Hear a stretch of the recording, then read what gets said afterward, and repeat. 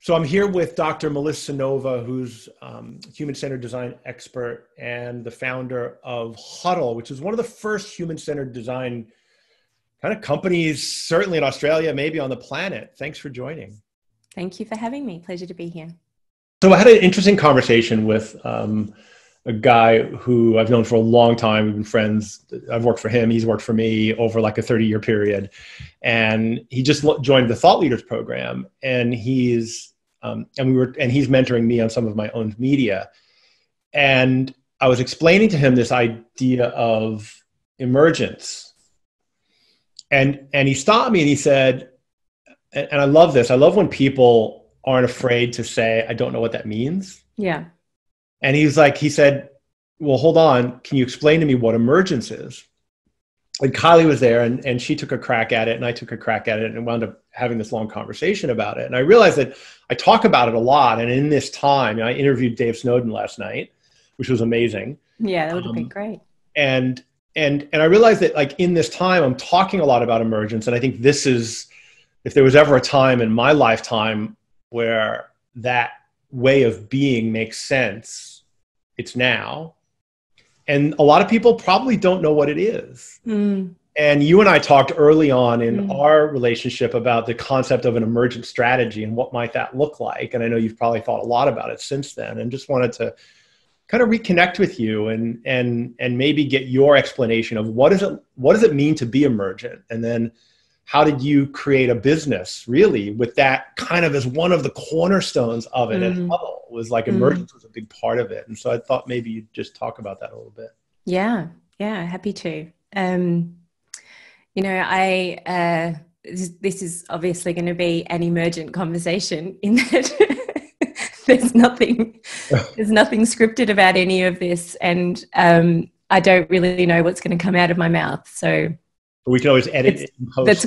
That's, that's, that's sort of, I guess, very meta in a way. Um, and I, over the years, have learnt that there's a there's a fundamental assumption, perhaps, or belief that sits at the core of um, allowing emergence to be a part of the way that you live or the way that you work or the strategy that you form. And that is that, and it's a vulnerable belief, which is that we can't always have the answer and we can't always think through the appropriate pathway.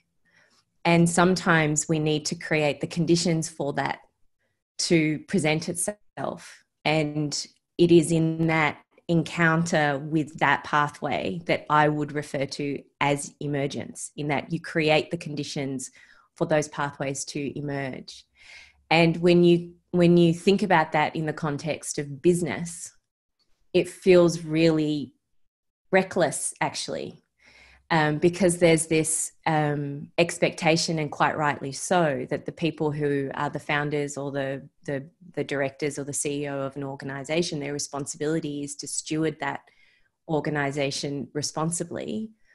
And what responsibility looks like in the way that we understand business is to have a clear strategy and a clear plan and contingency plannings, and to have, you know, right now in the in the time of pandemic to have business continuity strategies and yeah. and all of this sort of stuff but i just wonder um, how much we can actually know and i wonder you know i would love to have a conversation with someone who has had to completely reorient their business and i'm not talking about small businesses i'm talking about perhaps the, the larger ones and how closely they actually followed their business continuity plan and how much of it they really needed to cre- create on the fly. Yeah. Um, and I'm not saying that we don't need that thinking as well. We need to have done the critical thinking around, well, in this situation, in this scenario, what do we think today we would do? and to have a point of view on that. But I just, I, I have a fundamental belief that when you are in the moment, sometimes we just don't have the capacity to think through the answer and we have to act through it. And acting through a complex situation by its very nature is emergent because mm. you take an action and then the next thing presents itself and then you take the next action and then the next thing presents itself and that by definition is emergent so um, that's the approach that we've taken with with huddle and it's been around surprisingly shocks the pants off me constantly for 11 years. And you guys have gone through your own series of of evolutions and pivots that that that word tends to get thrown around a lot but oh, yeah let's not even call it a pivot. Like we've made some some really big mistakes. Like just the way that we've handled some um, situations in the past while we were still learning um, how to be owners of a business um, you know it, that is the only way you learn you know by making mistakes. i know i know but you know it's really interesting you know people talk about it's it's okay to make mistakes and and um, you know failure we shouldn't be afraid of failure and to put yourself out there and to you know find your edge and to do all of that which is which is what we have been doing with huddle. Um, but there's not a lot of dialogue about the implications of that actually because when you are an organization you do have people who are relying upon it to you know put food on their table and and stuff like that. People get impacted. Um, and the only thing that you can do is navigate those lessons with as much grace and compassion and intellect and um, presence as you possibly can. And um, and sometimes that is not enough mm. you know? And um, it's still it's still really hard for people. Um, and i think that's why business looks the way that it does is to avoid that type of fallout you know and i think there's a really good reason why businesses look the way that they do with their strategies and their contingency plans and their risk mitigation pathways and all of that. There's really good reason for that. But it also locks out world of possibility and serendipitous discovery right? And this um, frontier of adaptation and and innovation um, and I sit here very humbly, actually, before you and say, I have been doing this for 11 years and I still wouldn't be able to say, I've cracked it. this yeah. is how you do it, you know? So, so I'm curious because the, the type of employee you're going to attract um, is going to be, you know, there probably, there are people who are, highly structured and organized mm-hmm. that might look at what you're doing and just be like, uh, I can't, I need to know where you're going. I need to know when we're yeah. going there and how we're getting there. And, yeah. and they're probably not going to be comfortable in that environment. Conversely, yeah. you probably bring in a lot of emergent in people. Like what's it like managing a culture of the types of people that are attracted to an emergent organization? um, what's it like? Um, it's really, really difficult and challenging and um, and glorious and uh, miraculous and difficult to explain actually sometimes. Um, but and i say all of those things because when you when you make a commitment to be um, truly human centered in the way that you approach everything that you do um, and being other oriented so that you are creating an in service of culture within an organization, um, then all of a sudden everyone's opinion matters. And everyone's experience of working there and the work that they're doing and, and the value that they're delivering really matters. And um, what we found is that the normal ways of, you know, organizational hierarchies and the sort of mechanisms of control and, and dominance don't work. And so you don't have that to rely on. You can't, there's no such thing as you kind of need to do this because I'm your boss and I say so. Like that doesn't work.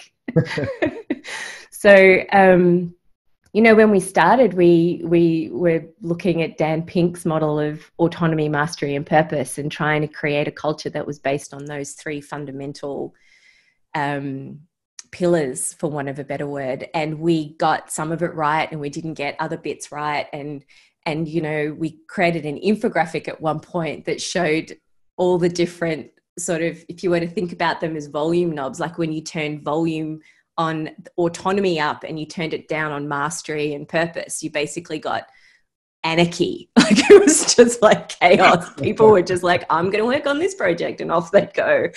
Um, and then when you sort of turned up the mastery knob and you turned down autonomy and purpose, you basically had like a school where people were just kind of learning stuff, you know. Um, and then if you turned up mastery and you turned down the other ones, you had a cause, you know, a, a and we were just constantly trying to get the balance right because what we were was an enterprise. We were a a, a company, a corporation that needed to behave like one. Um, but the um, the role of having vulnerable leadership to ba- basically be able to say this we don't know we don't know how this is going to go we think that this is actually going to be a culture that's going to sustain this group of people and it's going to enable us to be able to have impact through the work that we do and it's going to be able to create an environment for us to be creative and to do our best work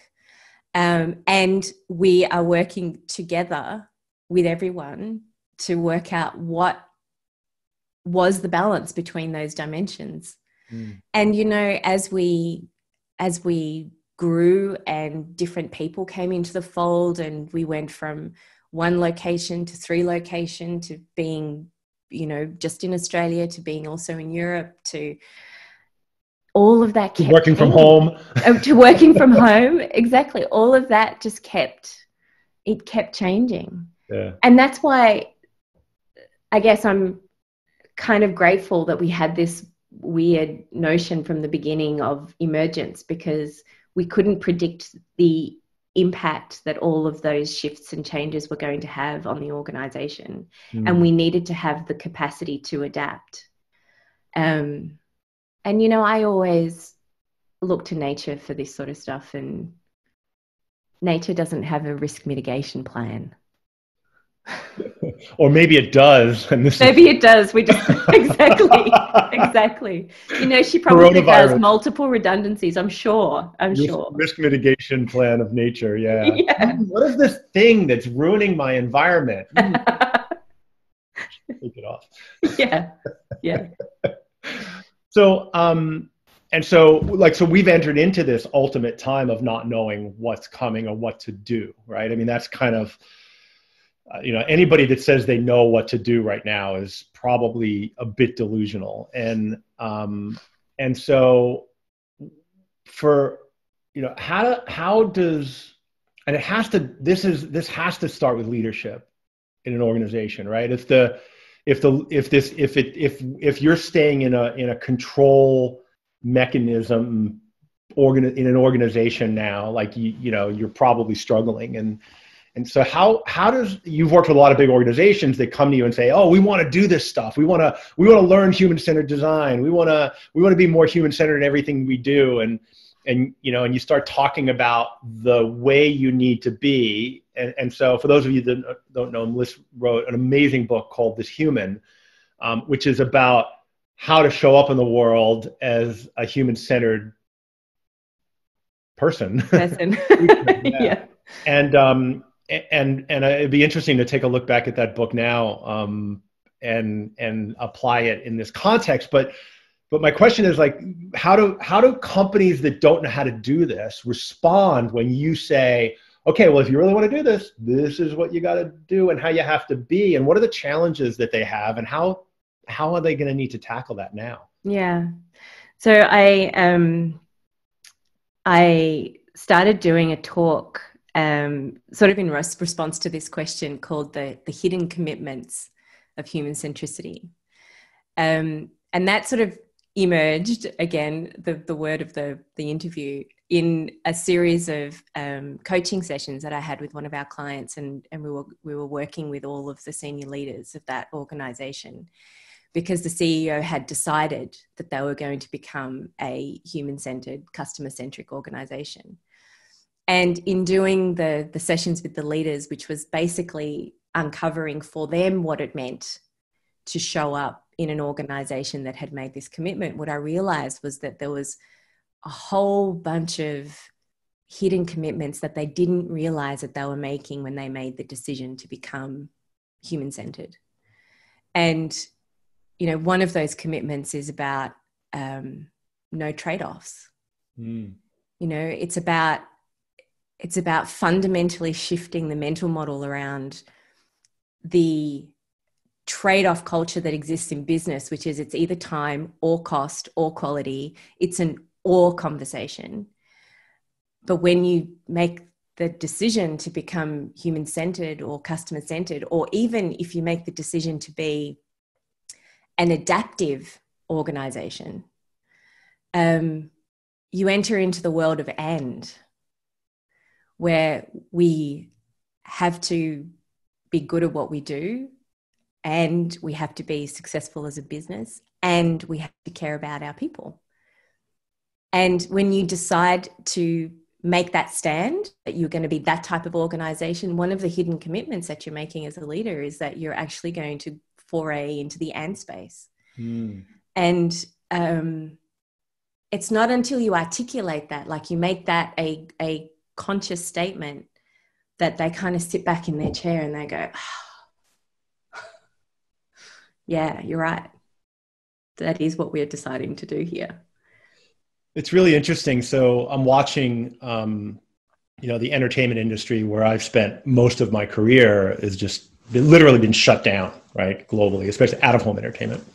And in America, you know, because this there's there's this fairly unique, I think, um, um, independence between the states and the federal government. Like there's autonomy at the state level that's basically written into the Constitution. And and so you've got a bunch of like 50 governments that are all trying to function under a federal government and or dysfunction, as, as some people might put it.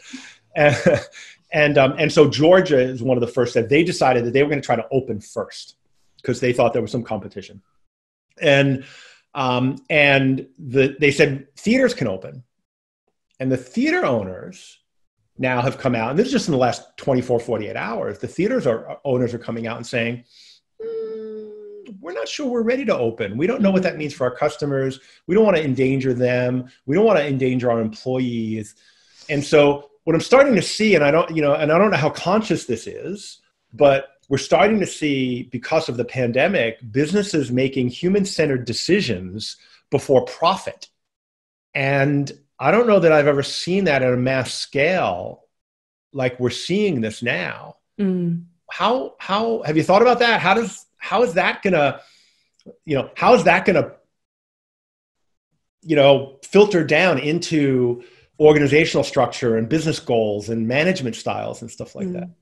I um uh, I don't I don't know the answer to that question. I have thoughts about what I would love to have happen and that is that um, I think one of the one of the reasons why businesses are feeling the compulsion almost to to make these decisions is I think that there's also this feeling of we're in this together, um, and business is set up as a as a competitive enterprise, right? You you typically feel alone in that, and I know that I've felt that, even though I have great relationships with the people who are founders of other human centered design organizations it feels like you're alone in it. Mm. and and i feel like that's one of the things that is fundamentally different about this scenario in that people are not alone. Everyone is experiencing exactly the same things. And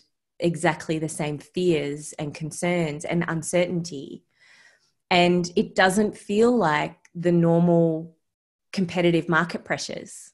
Um, it's a whole different context within which decisions are being made. And what I hope is that people remember this feeling, you know, this feeling of thinking about what human implication does my decision about my business have? And that that continues post whatever whatever this is. Mm. Um, that's my hope. But how it actually gets filtered down in their organizations and and how it gets codified. Um, I mean, we've been trying to do that for, like me personally, for 20 years. You know, trying to get people to to understand there's a different way to make decisions about product design and service design and strategy and stuff. Um, but maybe it takes something like this to actually have people that there's a felt experience of these types of decisions you know yeah there's and and look i think everywhere you know the the future was thrust upon us overnight in all kinds of scenarios right i mean things that you know most people felt were going to take years or decades to happen like like the fact that remote work which was growing at a yeah. snail pace work from home like it went from 4% of workers to 5% of workers over a 20 year period went to 35% of workers in three days and so like like all of that acceleration of the future into the present um, is happening all over the place. And yeah. But you know on that on that acceleration into the future of there's another part of the work that we do. Obviously there's the human centered sort of orientation of the way that we think about the world, um, which I kind of want to expand and make about sort of beings. um, but there's also the design part of it, and the design part of it is um, is for me in these sorts of situations a really useful and helpful stance as well. In that that acceleration into the future that you just spoke about in terms in the context of working from home. There's a there's a reactive nature to that right? It's almost like we're drifting we're drifting into the future um, and one of the one of the things about the human species which is our greatest strength and our greatest weakness is that we are the most adaptable species on this planet which is why we are in control of so much stuff right? Um, but one of the things about design is that it it it asks you to pause and ask the question um, how do we want this to be like what is the desired state and how do we have those thoughts inform the way that we show up in this moment and the way that we make decisions that are in line with what that might be and one of the things that i see a lot and at the moment you know i read this oh, I've got to get this right. I read this. It was a title of an article, and it said, um, it was an intellectual piece, and it said, "We have, we have the knowledge to be able to destroy ourselves, mm. but we don't have the wisdom to ensure we don't." And and I really sat with that. I haven't actually read the article. I didn't get past the title because I was just sort of sitting with that, going, "Holy shit!" Like, oh, excuse me, I'm not sure if I'm allowed to swear on this, but say fuck all. but it was it was really it was really quite. Um, it, it was a, a, a profound um, statement that I just wanted to ruminate on a little bit because there is a role of um, being able to envision a different way of being, a different paradigm of living that we can then deliberately and consciously and meaningfully go about and create. And I think the, the biggest challenge that we have, going back to the autonomy bit, is that not everyone's vision of the future is kind of shared, right? Mm. People have different versions of that. But I do want I do wonder whether or not there is a role for people who are in this headspace um, to ensure that we don't just continue to drift into the future that there is actually some like we take this opportunity to to reignite the the passion and the creativity and the like we stand for something as a can you imagine if all of a sudden everyone around the world went you know what? Actually we get it we all share this planet. Okay, understood. Let's create a different way. And everyone was on the same page. Can you imagine what that would be like? No. No. Was it John John Lennon said, "You may you may say that I'm a dreamer, but I'm not." I'm not. Sorry, that was a shout out for I Kylie. think that was, yeah. the uh, Dinner for Schmucks with Steve Carell. Great movie. Um, so, so for people, last question for Yeah. people who are interested in in in delving into like being emergent, whether they're a leader of an organization or they're an employee or they're just somebody who's struggling to cope with what's going on now. Like, what are what are some of the tips that you could give a person Mm. um, for just starting to to put their toe in the water and, and understand what it might feel like and some things that they might want to try doing. Yeah. I think the first place where I would start is to have them start to feel comfortable with the notion that it's okay to not have the answers. That there is limitation to the human capacity to be able to think through really, really complex situations and ambiguous situations. And it's okay to say, you know what, I don't know how this is going to go. And here's the end to create as much certainty for themselves as they possibly can. And what I mean by that is, what do I know that I'm going to be doing today? And learn to be comfortable with that amount of certainty. And then you go to bed and you wake up and the sun comes up, and then you do the same thing the next day.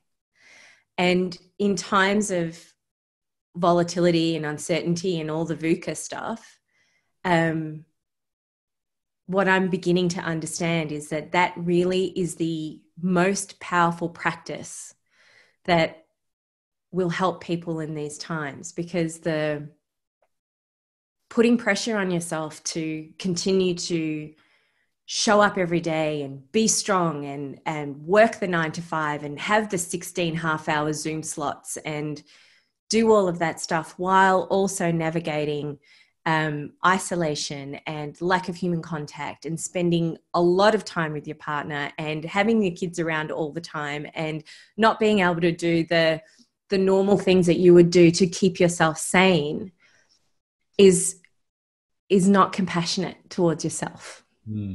and that's that's where i would say people should start Yeah, it's interesting. They say that you can only have your relationships with others are only as good as your relationship with yourself. And at a global scale, I think a lot of people, we're all being forced to look at ourselves a lot more in isolation and work on those relationships. And maybe that's the meta shift that we see yeah um, in this whole thing is Yeah. that, you know, if we're forced to work on ourselves a bit, you know, when we emerge from this, we'll be able to be kinder to other people because we'll have learned to be kinder to ourselves. to ourselves yeah and you know that is largely the reason why i wrote the book uh, why i wrote this human is it really is about it's about a self practice Mm. and it is about things like how do you envision an alternate future for yourself? And how do you lead yourself through ambiguity? And how do you create um, completion circles where you actually feel like within the certainty that you can create for yourself that you're still making progress? Um, and how do you reframe things? And how do you understand the beliefs that you have and how they affect the way that you show up in the world? And it really is all about that. It's about understanding this human Maybe it's time for a second printing and a new folder. maybe maybe Thank you so much for um, for taking some time out of what I know is a crazy time for you because you do have kids and a business and a and a partner and and all of the stuff converging um, in your home and it's got to be challenging. So I Thank you. appreciate it. My And I wish we pleasure. could just like you know walk out the street because you're only kind of down the block. i am I told I told Kylie like if if anybody wants to come and you know you're allowed to walk. Two people are allowed to go for a walk for exercise. yeah And um and if you were to walk her back to the front door and stumble on the transom and fall into the house, you know, and then we could make you a cup of tea to care for you because you might be injured. That probably would be legal. i think that'd be okay So, well, take care, and Thank um, Um, I really appreciate the time, and I look forward to. So I've been giving virtual hugs. So kind bring of like, it in, bring it in. Mwah. I can't get close. Huh? yeah, you have, have to pull the microphone. yeah, that's the, right. the, the, camera. So, all right. Well, I look forward to seeing you in person. Soon. Okay, me All too. right. Thanks, Bob. We hang up. Bye.